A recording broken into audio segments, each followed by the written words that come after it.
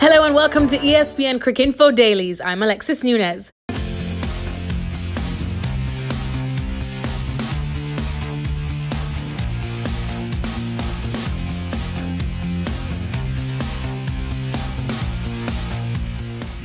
Delhi faced their second loss in a row on Thursday night as Hyderabad beat them by five wickets to climb to the top of the table. On a slow, tricky pitch at the Feroz Shah Kotla, it was Jonny Bairstow's innings of 48 off 28 balls that was the defining factor between the two sides. Bairstow outbatted everyone in the game, where even his partner David Warner could not hit a single boundary.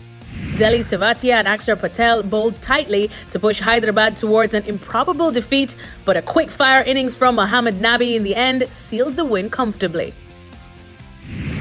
Former Sri Lanka all-rounder Dilhara Lokuhettige has been slapped with three fresh corruption charges, these by the ICC's own anti-corruption unit five months after the Emirates Cricket Board has also charged him. The 38 year old was previously suspended by the ICC in November when the ECB laid its charges. He's one of three Sri Lanka players to be charged under the anti corruption code, alongside former fast bowler Nuwan Zoysa and former all rounder Sanath Jayasuriya.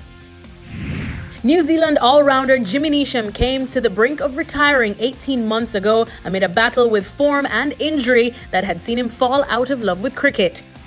Neesham states that he owes a lot to Heath Mills to convince him not to retire and instead take a break for three to four weeks. He describes his journey from wanting to retire to returning with Wellington and then making the World Cup squad as a pretty surreal ride.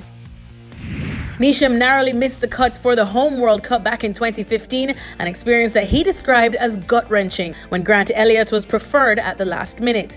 The 28 year old was named in New Zealand's World Cup squad that was announced earlier this week.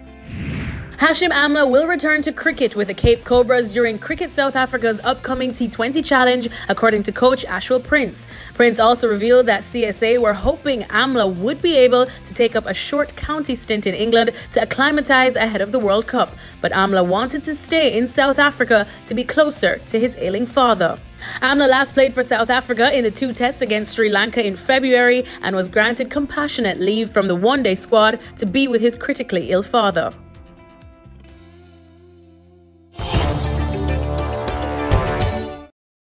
Don't forget to like, share, subscribe, and leave your comments in the comment section below. Click on the bell icon for notifications.